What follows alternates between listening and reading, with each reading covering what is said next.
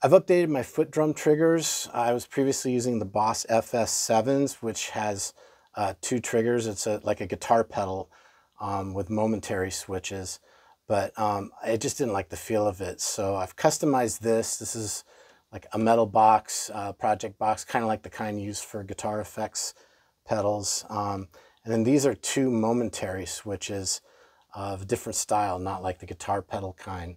Um, and what I've done is um, these can work on a single trigger and trigger the Yamaha DTX 502 and I use it for tom sounds or congas or whatever. But um, so, and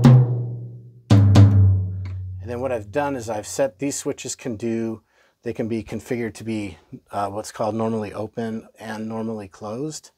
So I've got that switchable. So when these are on, now I've got double triggers. So when I push it, it triggers. When I release it, it triggers. So I can get doubles like, or if you do it quick, you can get kind of a flam sound. And then of course, I can change sounds real easy by just changing the, the drum module and then get different toms. And I can have all kinds of different sounds. And what I've done I've got uh, two of these. I've got one on each side and I put another one. I replaced the heel pedal with just like a single.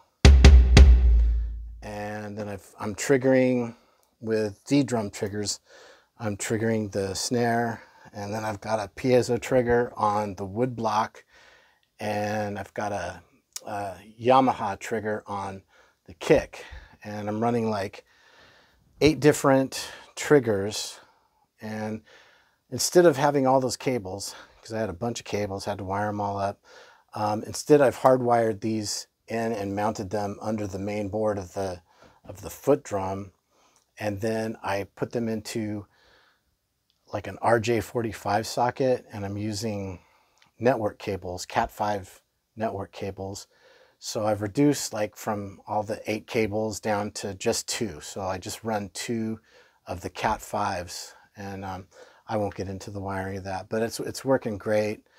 And these pedals just, they're a lot better. Um, I've kind of permanently, not semi-permanently mounted them. Um, I can still take them off, but just, I've got like a single, a single bolt going in there. I've got a, I drilled a hole and put like a threaded insert and then I can just screw the one bolt in and then this thing's solid. It doesn't go anywhere. I used to use nano tape, but it was kind of a hassle sticking them on, taking them off, and it's kind of messing up the finish. But um, these, these are working pretty good.